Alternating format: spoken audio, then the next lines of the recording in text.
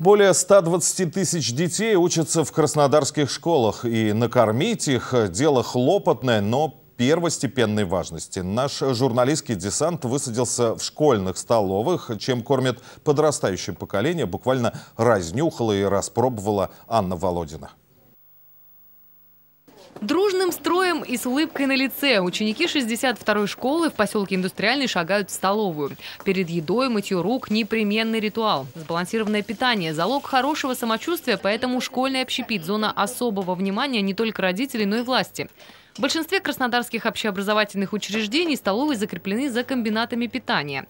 В школе номер 66 на Уссурийской, например, 2800 учеников ежедневно питаются в школьной столовой. И поэтому производство внушительных размеров. Здесь вам и горячий цех, и мучной. Условия, говорит зав. производством, шикарные, не то что раньше. Мы готовили раньше в старой столовой, была скученность, было очень неудобно и детям, и поварам.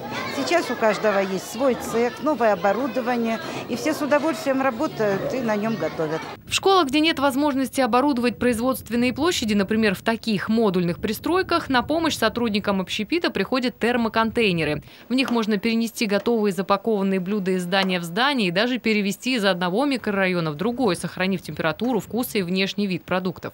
Такие технологии просто находка. Благодаря им в большинстве городских школ стала возможна система питания, которая называется «стол свободного выбора». Почти шведский, но с нормированными порциями, согласованными с Роспотребнадзором, безопасными и сбалансированными в соответствии с нормами потребления продуктов для детей школьного возраста. Больше чем в половине краснодарских школ детям предлагают по три основных блюда и три салата на выбор. Напиток и десерт для всех одинаковые, но каждый день разные. Меню придумывают и утверждают два раза в год – на осенне-зимний и весенне-летний периоды. Всего 24 комплекса. Грубо говоря, блюда повторяются всего раз в месяц. Поэтому назвать сегодня питание в школьной столовой однообразным язык не поворачивается. А на переменке сдержаться и не заглянуть туда – задача, которая под силу только очень взрослому и сытому. Мы не из таких. А что мне можно? У нас есть на гарнире пюре, а, рис с овощами, омлет с сосисками, а, оладья куриные, курочка и также три вида салата. А, можно мне омлет, пожалуйста? Спасибо большое. В общем, хочешь почувствовать себя ребенком, отправляйся в школьную столовую. Я не одна такая в гастрономическом восторге. По соседству ребята уплетают свои обеды и завтраки и тоже с удовольствием рассказывают, чем не прочь подкрепиться в перерывах между уроками. Э, запеканку и джем, с джемом и яблоко. Это мой любимый завтрак. Э, я взяла себе э, помидоры с, огурца, с огурцом и курицей. Макароны, огурчик, помидор и котлетку.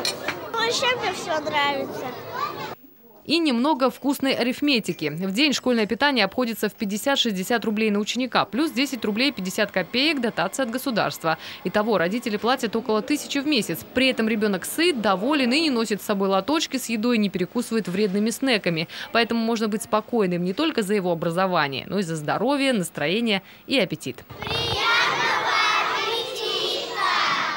Вероника Веретенникова, Анна Володина, Николай Цедрик, Михаил Дроздов, Юрий Клочинов. Телекомпания «Краснодар».